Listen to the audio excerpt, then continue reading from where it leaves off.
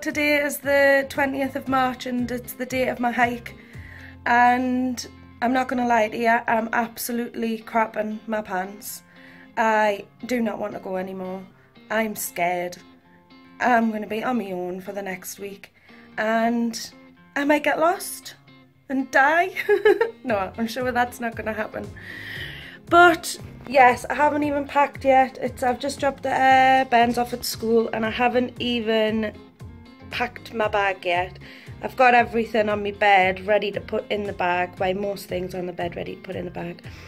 I've got a few things to sort out in the house, few things to get out for the kids, for, so my mum and for my mum, um, so they know where things are and Oh my god, guys. Ah, what am I to do? So, I get the train at one o'clock, so I've got I've got a couple of hours to get sorted, so I'm not worried about getting things done on time. I'm just petrified of this whole journey. I can't remember why I'm doing it. it doesn't seem apparent anymore. Oh.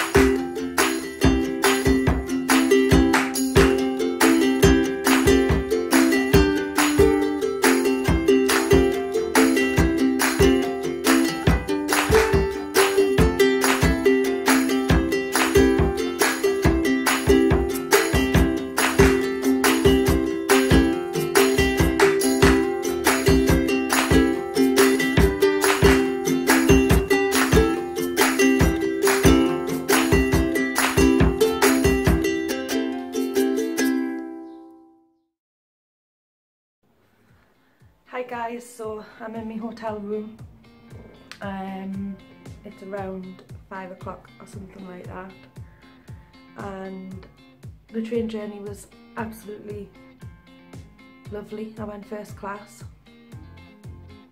I've got a selfie stick in your towel. I don't know why I'm using it. So I'm in my hotel room anyway, and uh, not a hotel, it's just a B&B. And I'm feeling pretty scared. I've got to do this walk tomorrow. I don't have a clue where I am or where I'm going. I don't know how to use a compass. I've got a GPS. I don't know how to use it. Um, I'm worried. I'm just scared. I'm gonna come back. I'm gonna go out and I'm gonna find a shop so I can get something to eat. And uh, had something to eat on the train, first class, and they just came and served you something. I thought I had to pay, but you don't. First class. I've always just travelled standard with the kids. So, um, yeah, I'll give you a quick overview of my room. There's my bed. And there's the door.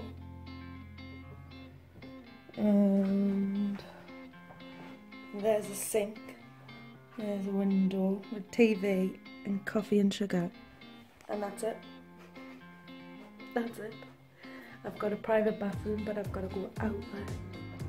And I don't want to. What am I doing? I'm gonna go and get some food and try and find my way around places.